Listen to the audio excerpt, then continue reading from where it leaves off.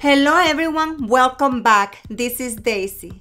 I have been having many requests to do a class or tutorial of how to do sublimation. So today we're going to be converting an Epson EcoTank printer into a sublimation printer. First, we're going to talk about printers that can or cannot be used for sublimation. For example, HP and Canon printers use heat while printing, therefore they will not work for sublimation.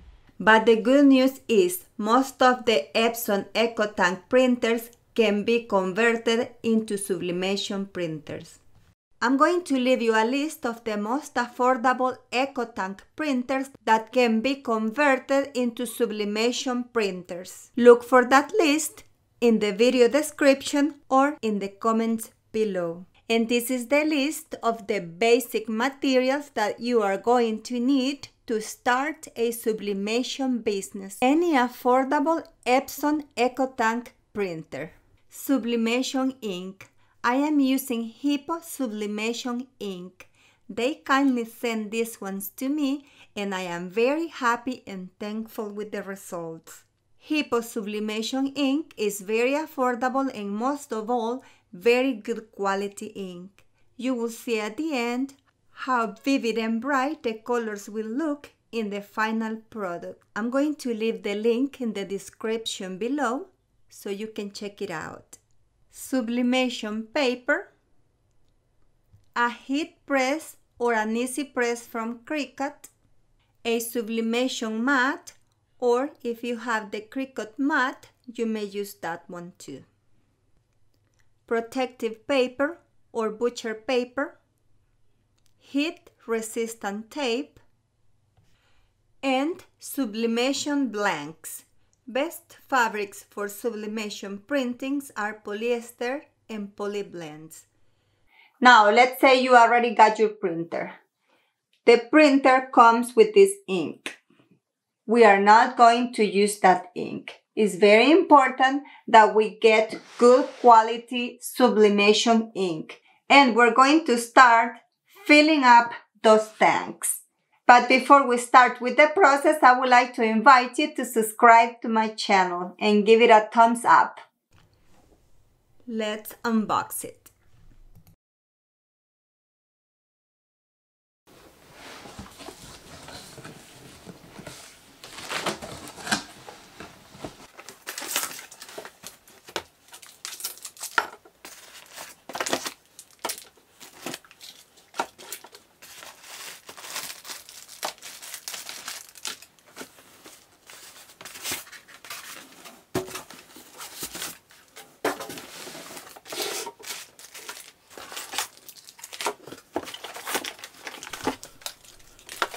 Comes with a lot of ink, but we're not going to be using this ink.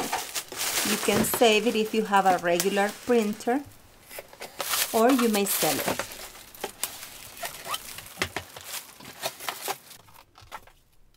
Let's carefully remove all the protective tape.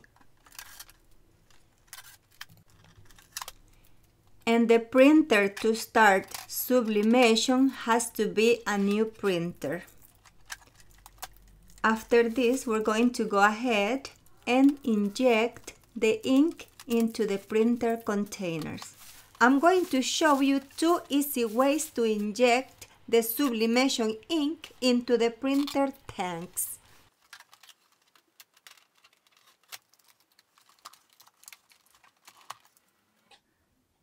So these ones are the containers. The biggest one is for the black one.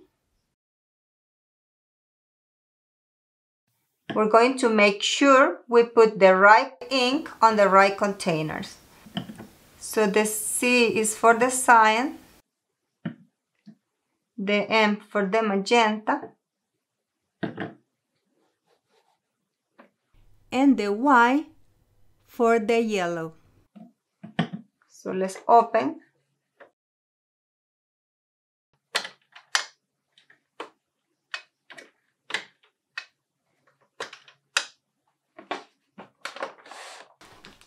Let's get the ink. As you can see, it comes with the syringes, so you can inject the ink into the printer containers. This time I'm going to be showing you two ways to do this process. The first one is going to be using the syringes. And for the second one, I'm going to be using one of the original Epson ink empty container. I like this second one because it's not messy and it's easy. Let's start. But before, I'm going to put on the gloves that come with the Hiipoo ink.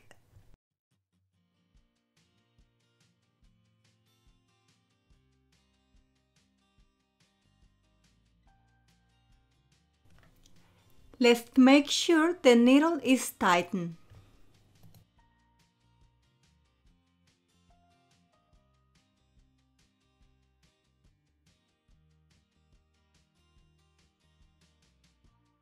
Place the bottle into an angle when doing this process. Like this, you don't get air bubbles.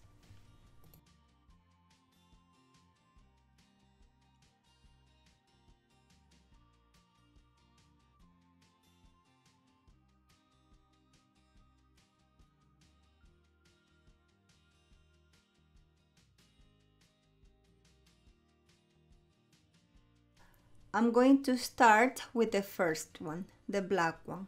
I'm going to close the other containers so I don't get confused. Insert the needle and start injecting the ink.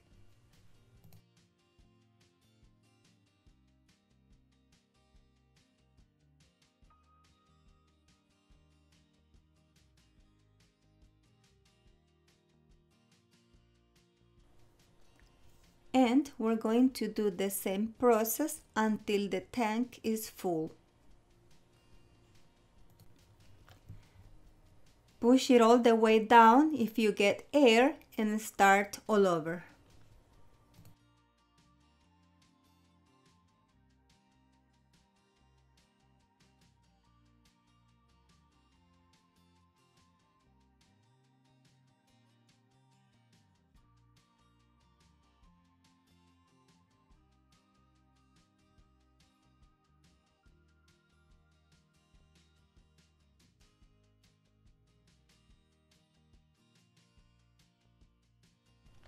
As you can see, is filling up.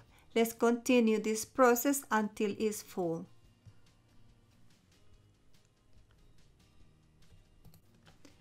Now that it's already full, I'm going to wash off the syringe and save it for next time. And for the second way to do this process, I am going to be using one of the ink bottles that came with the printer. You may keep this ink if you have a regular printer or you may toss it.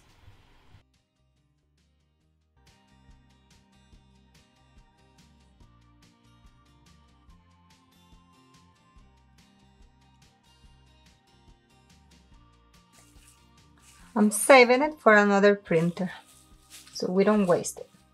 But if you don't have use for it, you can throw it away. So now we're going to go and wash this one with water.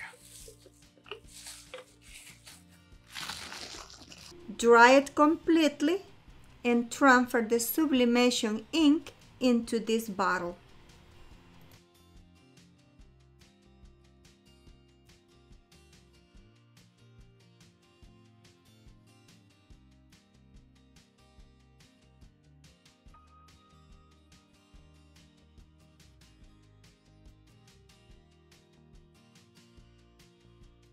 So I already washed it and dry it. I removed the label so we don't get confused. So what we're going to do now is to transfer this ink into this empty bottle.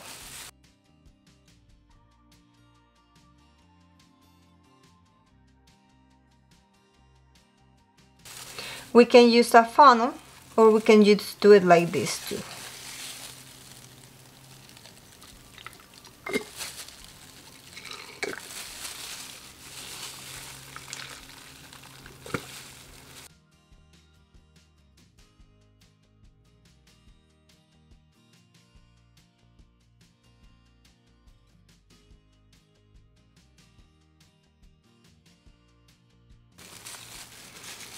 We still have a little bit so we're going to save it.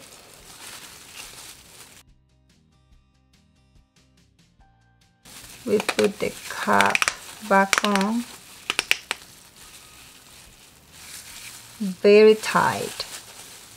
So now let's make sure we were putting the cyan. And now we go to the cyan container. So now we're just gonna align it over here. And press it. Now do you hear that noise? It means it's already filling. You can see it's filling up. This way is easier because you can do it all at once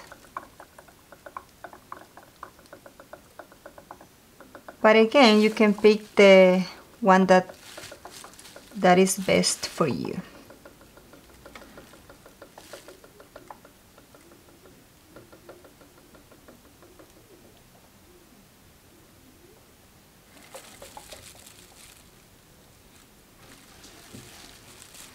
Okay now it's already full. We take it out.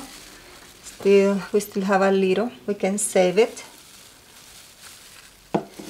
and let's close it and we're going to do the same process for the rest. Now that the tanks are full I'm going to go to the next step. But before I want to tell you something very important. This is when you're using the printer. Once the level of ink come to this line make sure to refill with sublimation ink again.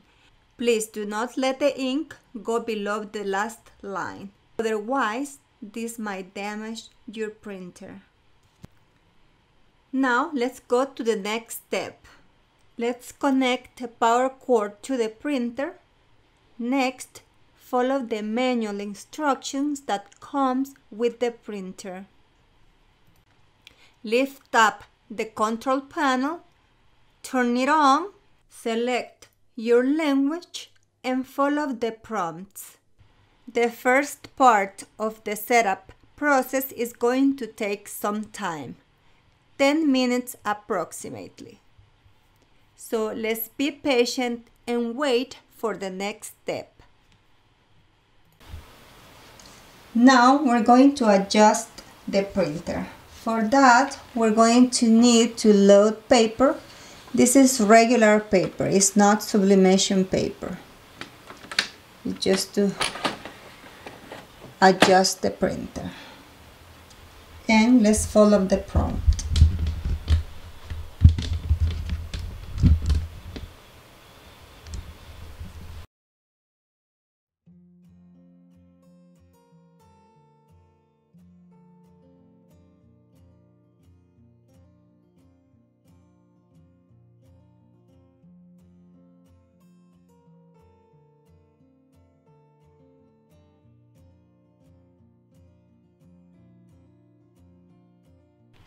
is asking us to check the printed pattern and select the closer result.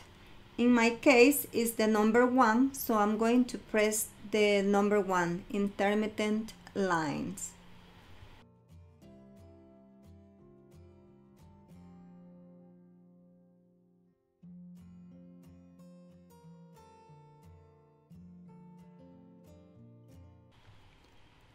The second printing is perfect.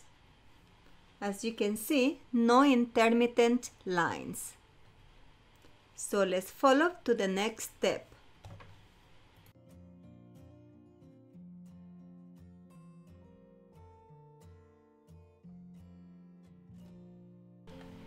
On this one is asking to pick the straight lines. So it has two rows, number one and number two. I'm going to check the straight lines and select those.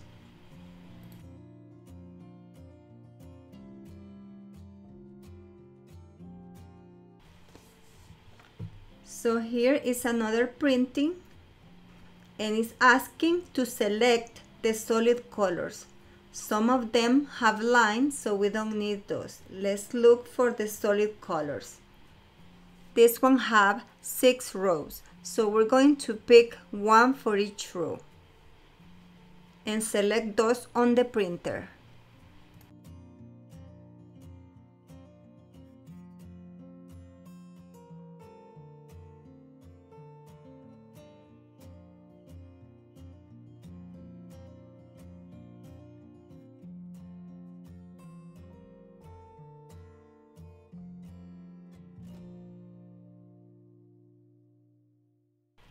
And if it keeps printing keep on doing the same process until you finish aligning the printer. When the printer finish with the alignment, we're going to continue setting up the printer on the computer. Next, I'm going to install the printer software in my computer. You can find the link for the specific printer or a specific model in the manual instructions. Mine is the Epson 3760, so this is my link. Next, follow the instructions on the computer screen to run the setup program. So again, this site is for the Epson ET3760 and we're going to download. Once it's here, press it and install. Say yes. Okay. So it's installing. Accept. Let's see if we need all of this. Install. So it might take some time.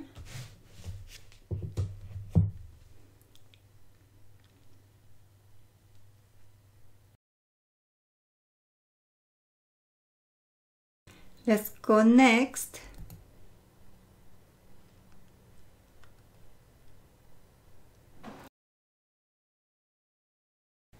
Confirming that the ink is already charged. Next, wireless connection or if you want to use a USB connection. If your Wi-Fi is not as strong, I recommend you to use USB. But this one you might have to buy it separate because it doesn't come with the printer. Next. And here you're going to set it up for the first time. Next. Yes, next.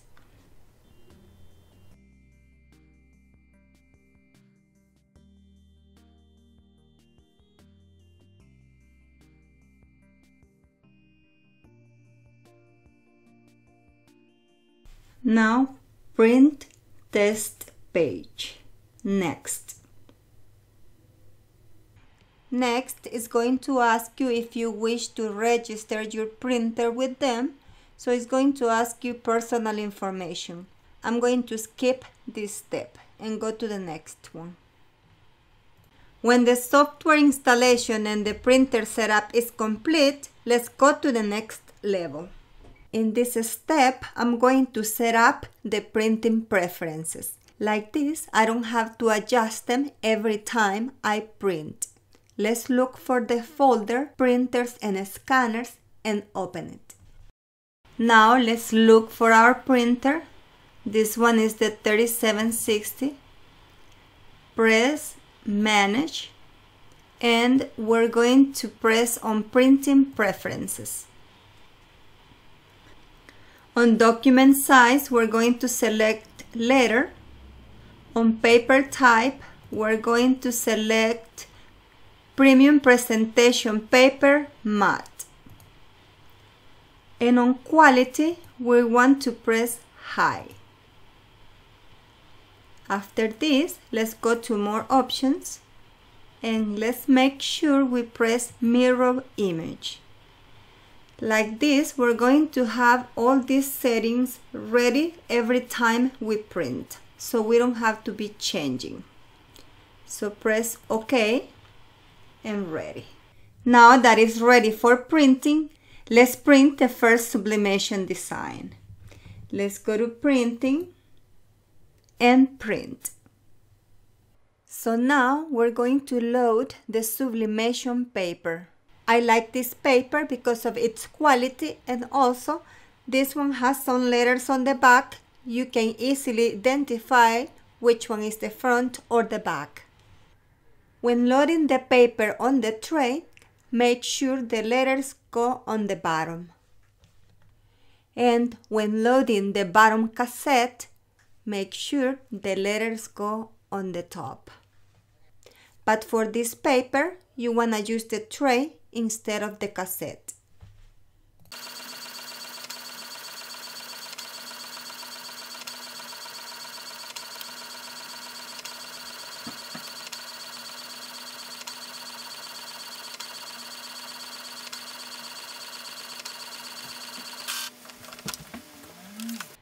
Look how beautiful the colors look. And after we press, it's going to look even better. Colors vivid and bright. Now let's go press it. So now we're going to sublimate this design into this t-shirt. This tee is 100% polyester. For sublimation, you need to work on fabrics that are mostly polyester. Something that is 75% and up works best. I am using my Easy Press from Cricut, but if you have a heat press, you may use it. Now, the temperature for sublimation depends on the material. This sublimation paper that I am using comes with the suggested transfer instructions. So I am following those for this fabric. I'm going to press it at 400 degrees for 40 seconds. I am using a sublimation mat. If you have the one from Cricut, you can use that one too. And to align the design, I like to fold the t-shirt in half, iron it, and then I fold the top like 2 inches below the collar and iron. Like that, I know where to center the design.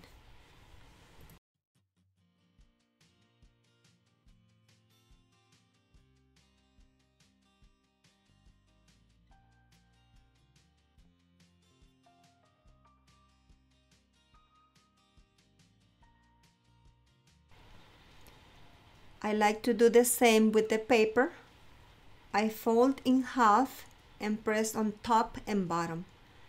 Don't fold on the design, just on top and bottom, so you can align it. Before placing the design, we're going to use protective or butcher paper. Let's cut two pieces. This one have to be bigger than the design one is going to go inside the t-shirt and the other one on top of the design.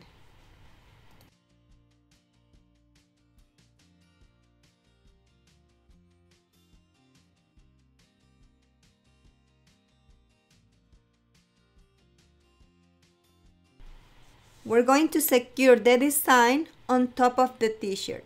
And for that, we're going to use heat resistant tape.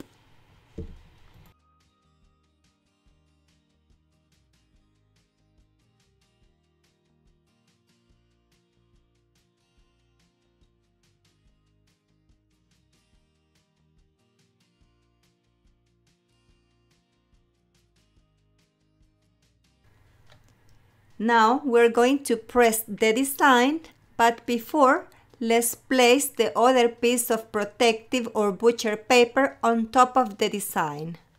I'm going to press at 400 degrees for 40 seconds.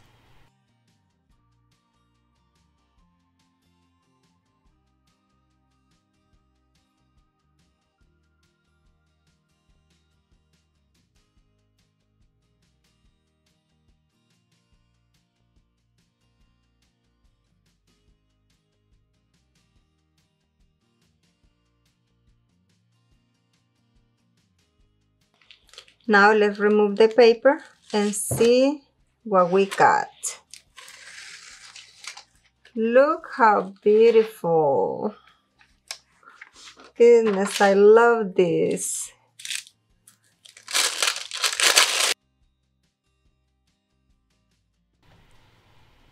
This is the ink that I use to get these beautiful, vibrant colors.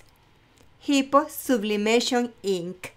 I'm going to leave the link in the video description or in the comments below.